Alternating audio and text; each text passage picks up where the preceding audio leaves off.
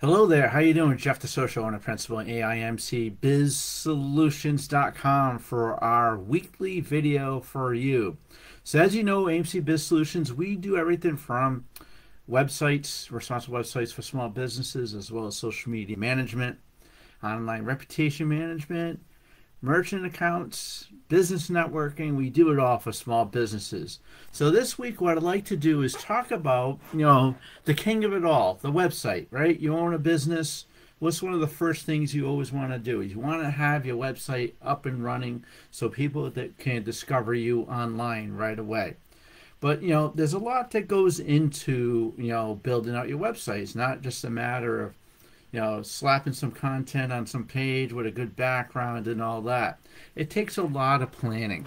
So this is what I like to talk about today. So, you know, as you know, when you start a business, uh, one of the first things you always want to do is you want to have a business plan. What's your plan? Um, you know, kind of you want to plan out your your one year, your quarterly strategy, yearly strategy, two to three years out. Like, how do you want to grow your business? So, you know, just like a business, your website, one of the first things you want to do is you want to define your goals and successes, right? So you want to think about what what do you want people to do on your website? That are you going to be an e-commerce site? Are people going to be buying something from you? Do you simply want a form for people to contact you? Do you want to be an education site um, or subscription-based site? Think about what your goal and what would be successful. What would be a successful website? That's probably one of the first things you want to think about. Second thing, this is really important, is choosing a domain name. Now, you want something very catchy as a domain name, right? Something that will capture somebody. Like, go to my website.com.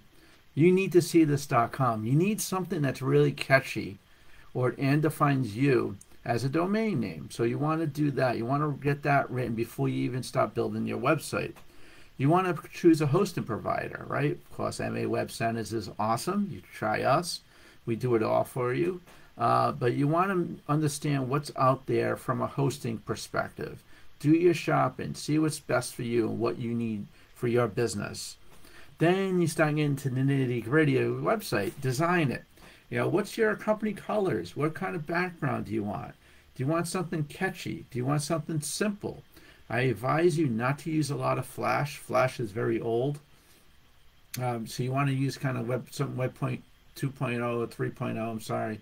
Uh, you know something that's a little bit more up to date, but you want it to be simple.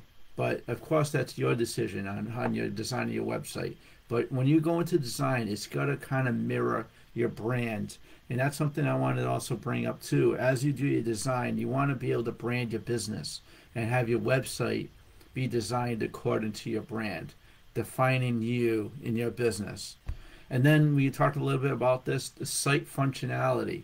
What do you want it to do? What I always suggest on the front page, on the top of the page, is your CTA, your call to action. What do you want people to do on your website? That's the most important part of your website is the top half of the first page. That's where the action is. Right? And then finally defining your content. You know, as a website provider, uh, designer, I don't know about your business. So this is gonna be the tough part as a business owner. And I know I always talk about, you know, you need to um, focus on your business, but we really need, you know, you need to define your content. What content do you want on your website? Um, you know, the basic site is the About Us page, tells your story, um, your call, yeah, your products and services, right, would be another page. And then your call to action page would be another page um, you would have a blog. I always like to put blogs on your own website versus using uh, WordPress or Blogger uh, separately, because of course that helps with your SEO, right? So that's the last thing you want to do is define content on your page that will attract people, right? Think about keywords that define your business, and you'll have an amazing website. Because a website is the king of all, and we always talked about this the social media platforms, all those channels is a way to get traffic to your website where the action happens. So hopefully these these uh, steps help. You know, I'll write them down here as part of this post. And of course, if you need a new website, we have so many options through MA Web Centers, allmymarketing.com, and Thrive through AIMC Biz Solutions. So have a great day And if you have any questions, please let me know. This is Jeff D, AIMCBizSolutions.com.